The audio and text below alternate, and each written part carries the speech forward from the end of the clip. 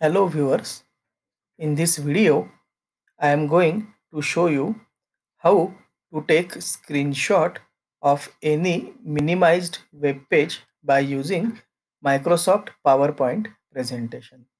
Here you can see I am having this web page and I want this screenshot to be inserted on my PowerPoint presentation. So for this purpose just go to your PowerPoint presentation and create a blank slide. Now here create, uh, click on insert option and here you will see screenshot button is there. Simply, simply click on this screenshot and here click on this screen clipping option.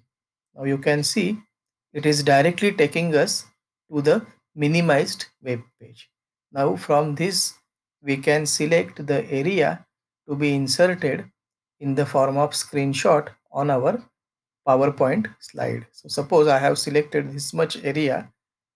Now I will simply remove my finger from cursor and you can see the screenshot is directly attached to my PowerPoint slide.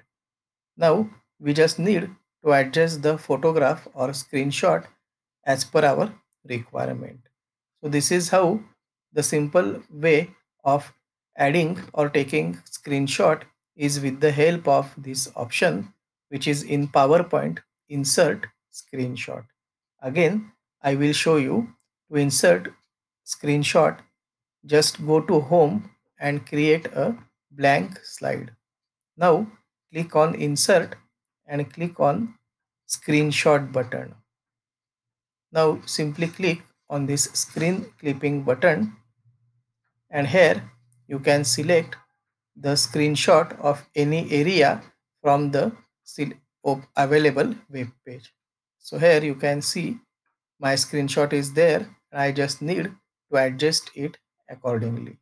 So this is how we can take simple screenshots by using screenshot button in PowerPoint presentation.